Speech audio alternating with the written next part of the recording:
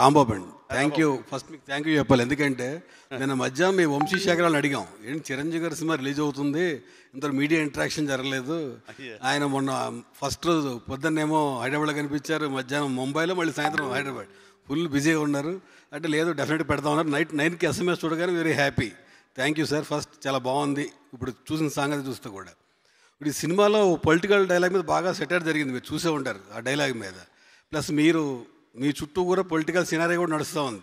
ఎందుకంటే పవన్ కళ్యాణ్ గారు జనసేన పార్టీ పెట్టారు. మీరు ఎంపీగా పోటీ చేస్తారని నడిచింది.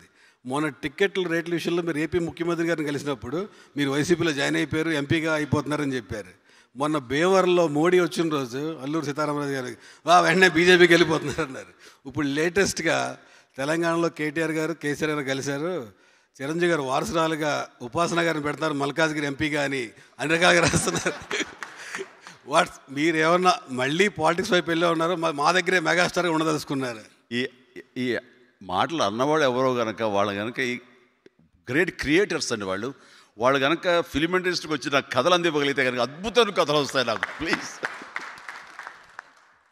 చిరంజీవి గారు మీ నూట యాభై సినిమాల్లో మీరు ఎన్నో